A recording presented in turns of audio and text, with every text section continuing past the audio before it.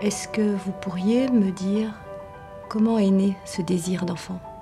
Moi, depuis que je suis toute petite, j'ai hyper envie d'être maman. Je sais pas, c'était évident. Tout de suite, j'ai, j'ai ressenti le, le désir de, de- d'avoir des enfants avec Aude. Prêt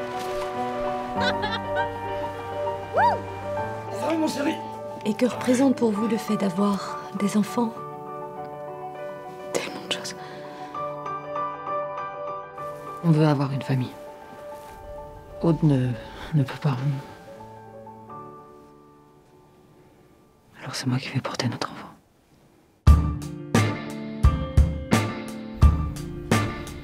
Porter un enfant, c'est considéré de manière universelle comme étant le symbole de la féminité.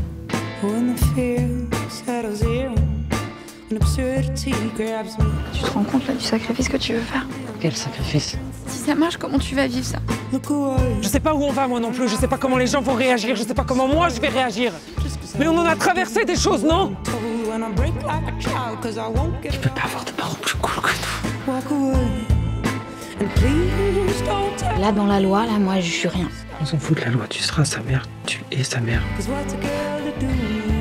T'as choisi d'être un homme, Ben. Un homme Mais j'ai pas choisi, quand est-ce que tu comprendras que c'est pas un choix, putain? Cause a girl to do? Such good night.